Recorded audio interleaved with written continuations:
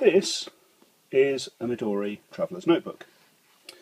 This is a passport size Midori Traveller's Notebook. This isn't a Midori Traveller's Notebook, this is my own version of the Traveller's Notebook and it comes in a size which accommodates uh, standard field notes or Moleskine sized um, booklet. Today I'm going to show you how to make versions of these in any size for yourself.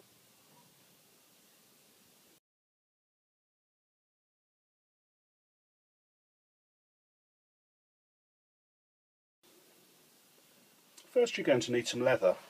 Here's the leather that I'll be using today.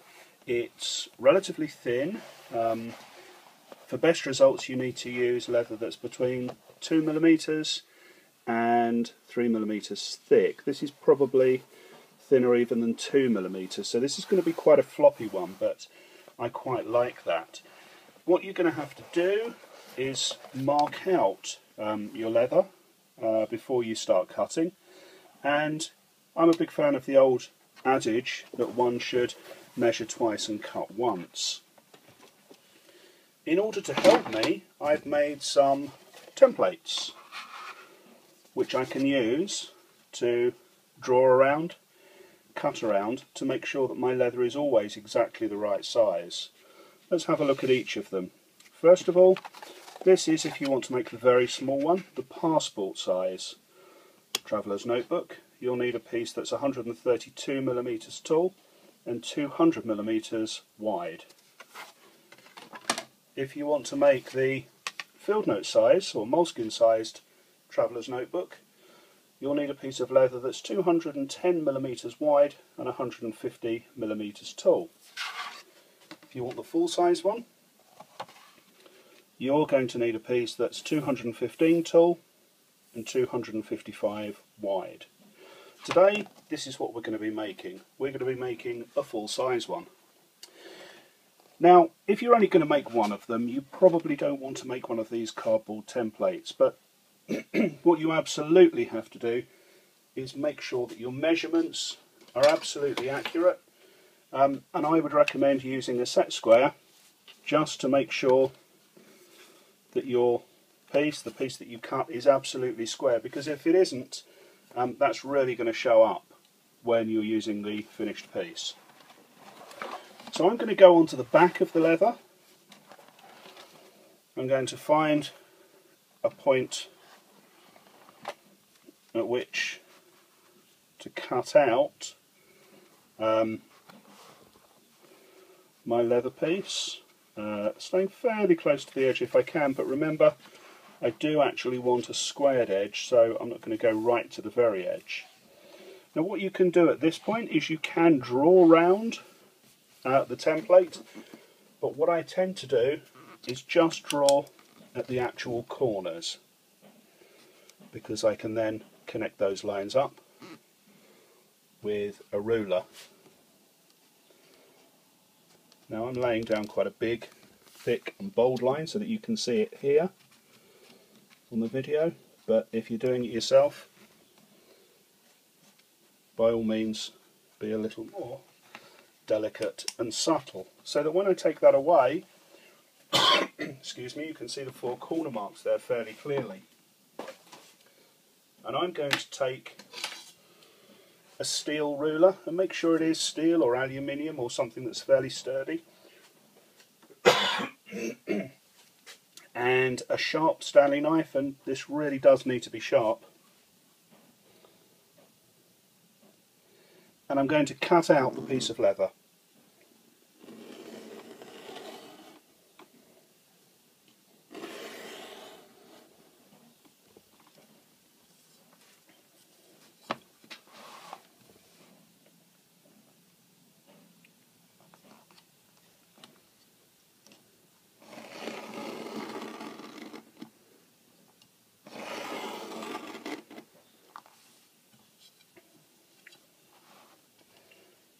you're obviously going to want to make sure when you do this that you're using a nice thick cutting mat to protect your desk or your work surface.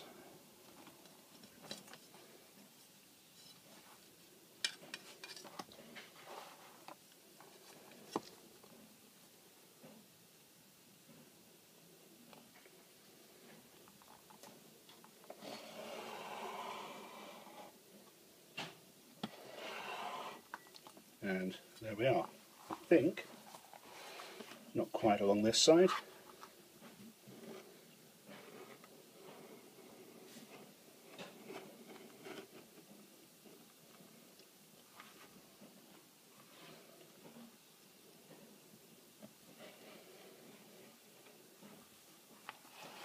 and not quite here in this corner but we've pretty much um, released that piece of leather.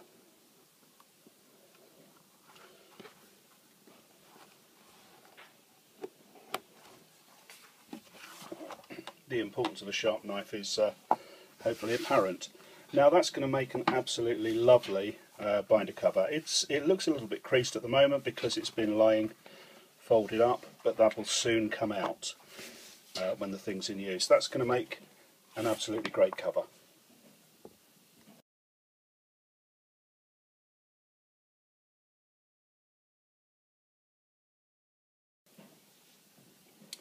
Now next we're going to punch some holes in this to fit the elastic.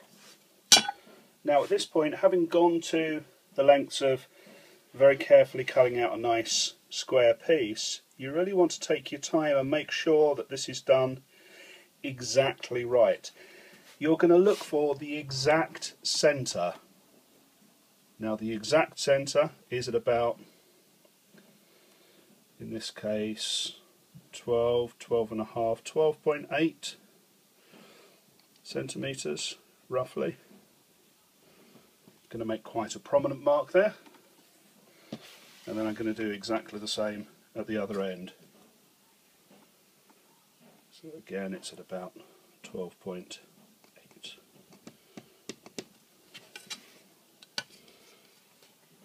Now what I'm going to do is just lightly draw a line down the middle of that.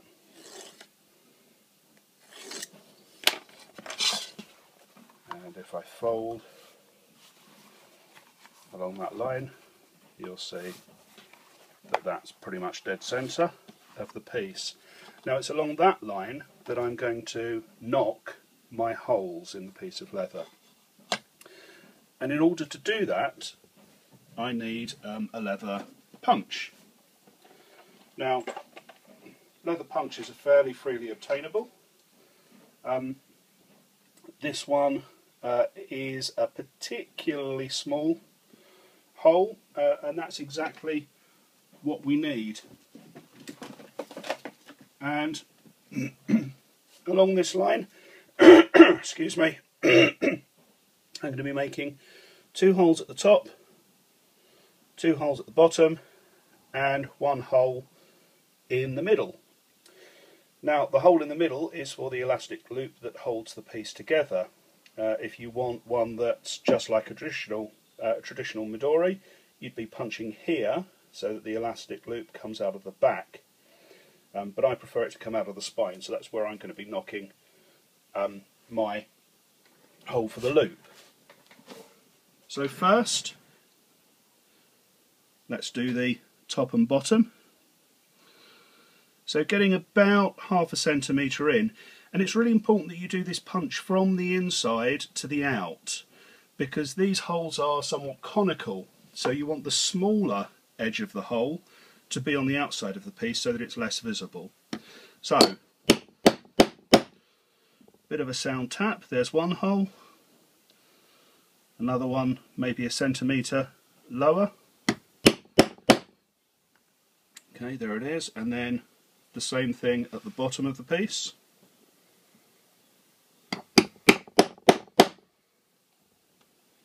And then again a little higher. and then I'm going to see where the centre is. So we're talking about 210, so 100 and, oh no, sorry, 215, so about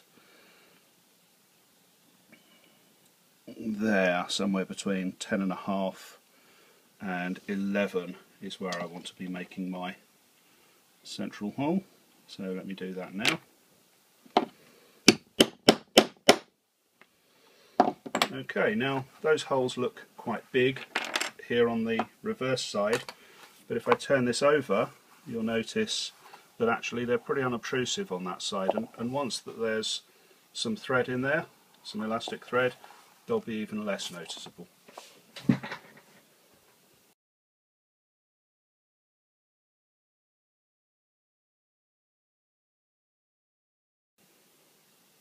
Okay, so it's time for the elastic thread.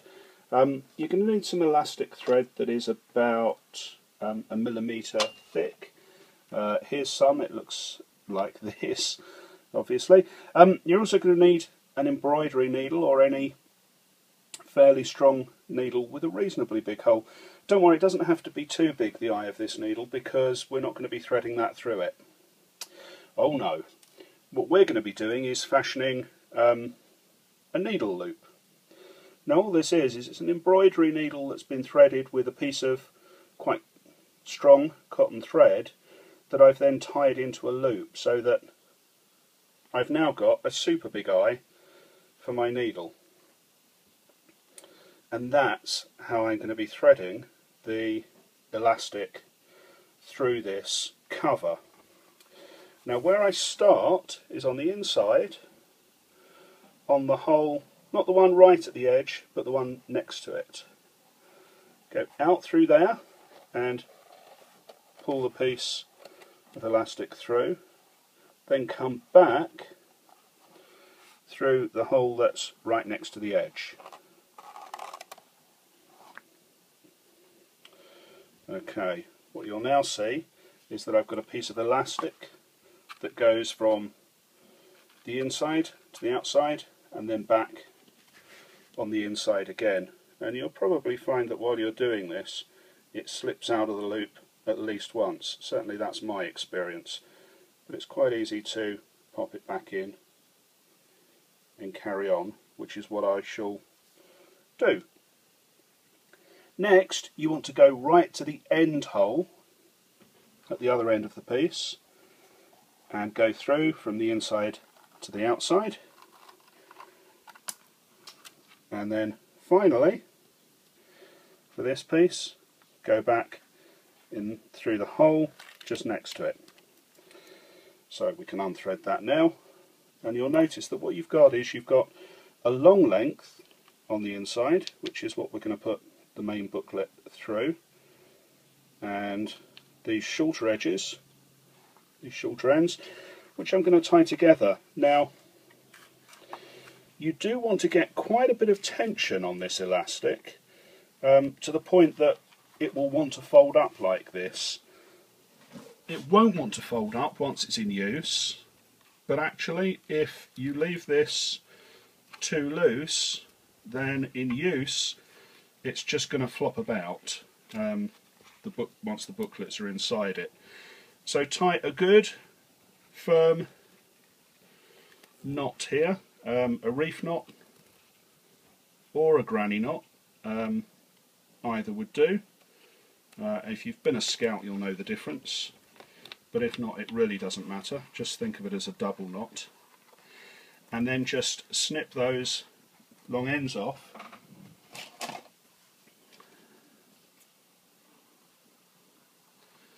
with scissors um, and you're good to go. Now notice how the thing just wants to curl up now um, and that's fine, that's what it's supposed to want to do.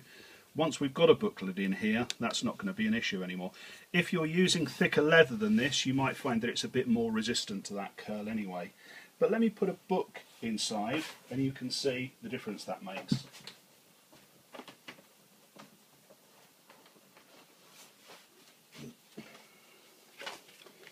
Okay, here's one of my uh, homemade booklets. This one's um, an address book. I'm just going to find the central part, put it through the long piece of elastic, pull it into the middle there, um, and then you can see that sits quite comfortably inside the uh, traveller's notebook, uh, which now doesn't want to curl up um, into a ball. But if I take it out for now because there's clearly more work to do with the cover. So you'll remember that we put this second hole here and for the second hole uh, we're going to make uh, a fastening loop. So I think in fact there's probably enough in one of these offcuts to do this. Back to the loop needle again. this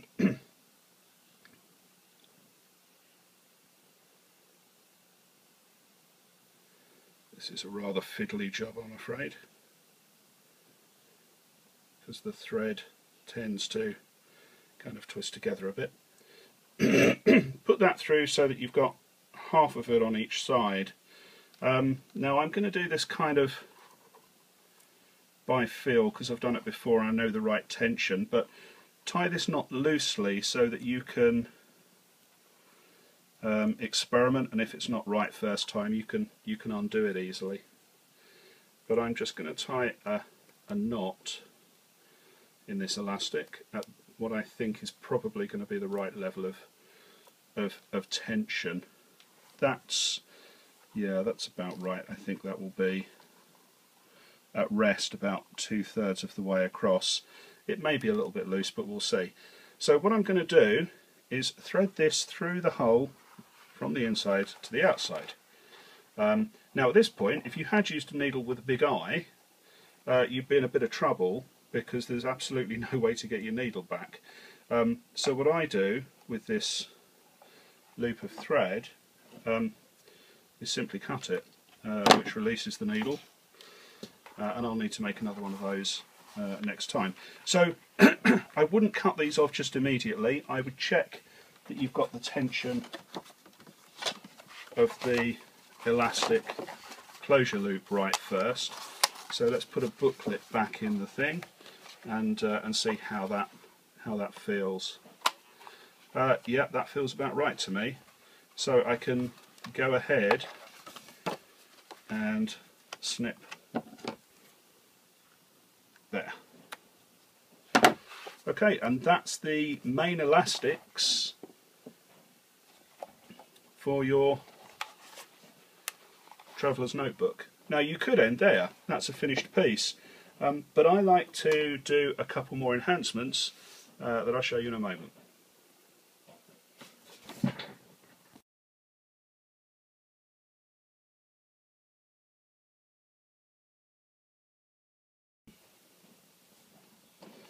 Now when you compare my Traveller's Notebook to a regular Midori one, you'll notice that the Midori has nice rounded corners.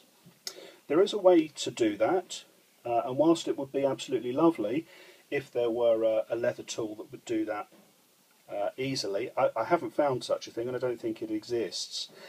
I've found a way to do it and it involves one of these, a metal washer, it has to be metal rather than plastic, and um, the ever popular Stanley knife. And the way that you do this, there's one that I did earlier, um, is to carefully place the washer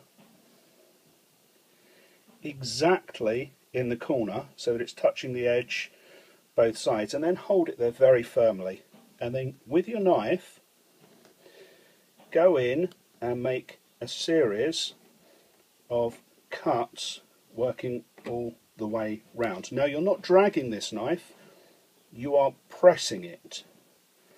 That's going to make a much neater and cleaner cut to the leather. Now it's a job that requires a little bit of patience if you want a really good finish.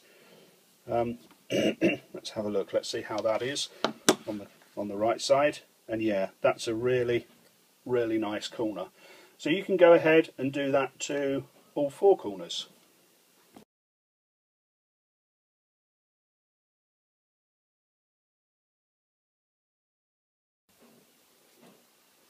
One of the really attractive features of the Midori Traveller's Notebook is this little chap, the bookmark, uh, which makes it easy to find a, a particular page in your notebook and you know people hang little charms uh, off the bottom of it as well. So that's reliant on this tin clip chap here, um, which I, I don't use. Uh, in, in my version. Firstly, I find that when you open the thing up, this just sort of gets in the way, uh, and I, I, just don't find it necessary. Um, so it's quite difficult to duplicate that functionality without the tin clip, but there is a way.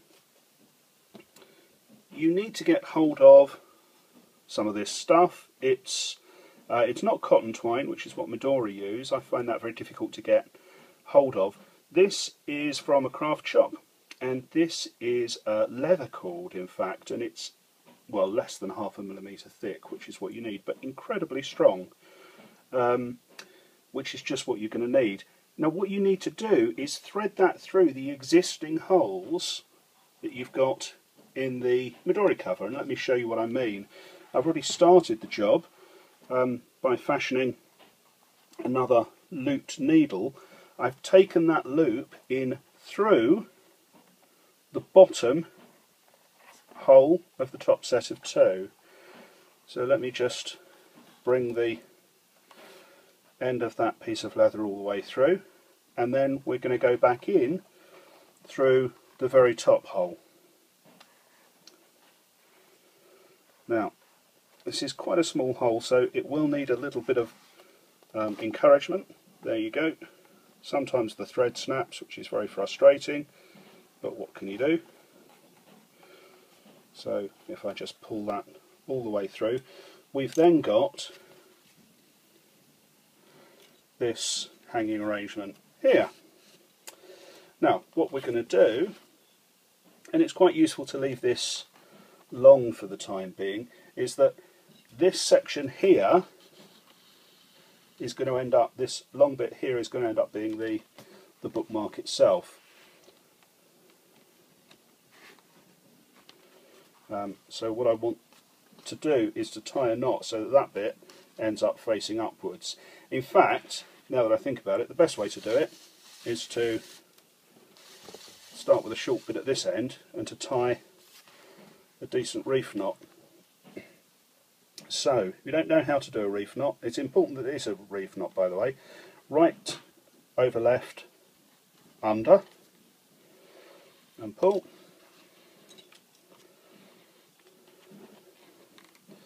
And then left over right, and under.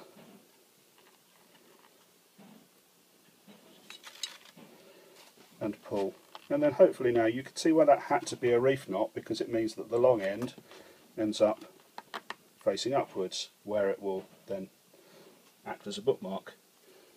Cut off the short edge to leave that nice and tidy and then the bookmark itself can come down inside the booklet, come a little way out at the bottom, snip it off.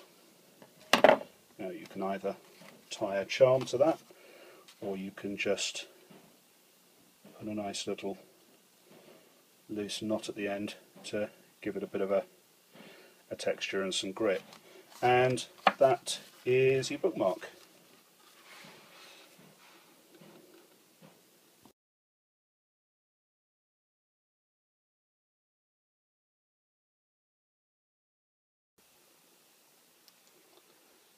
I'm going to demonstrate one further step that you can take now to personalise your notebook and you'll notice that what I've done here is I've clamped um, a straight edge across the very edge of my notebook uh, and the reason why will become apparent fairly soon.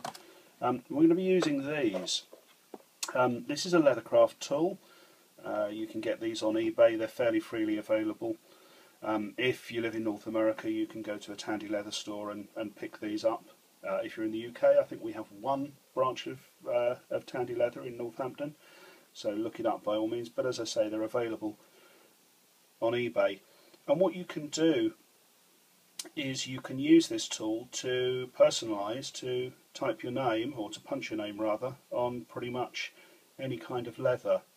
So what I'm going to do is I'm just going to pop my name on this notebook. so I'll start off, there are three letters in my name, there's an R, an A and a Y.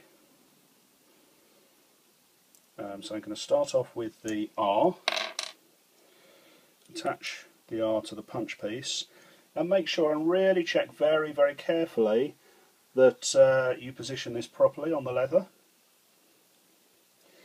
and then bring it right up to the straight edge that you've clamped in place.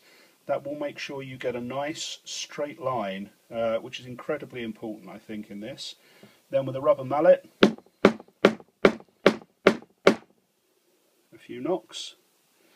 You can see there hopefully I've left the impression of an R. Now I'm going to change the end. I'm going to put um, an A on the end of my tool Again, make sure it's oriented properly.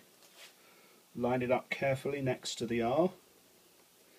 Make sure it's right up against the straight edge and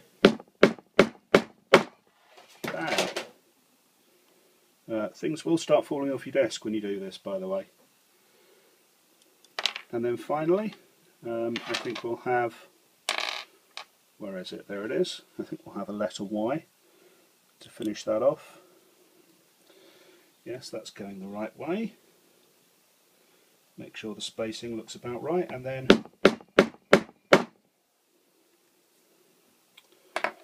and there we go, there's my name. So, unclamp all of this.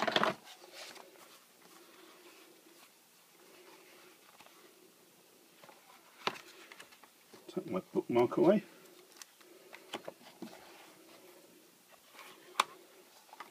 Can see I've now got quite a nice uh, traveller's notebook which is personalised to me and which goes very nicely with a smaller one that I made earlier. Hopefully you've enjoyed these videos and you'll use them as inspiration to have a go at making your own traveller's notebook which really is quite straightforward to do.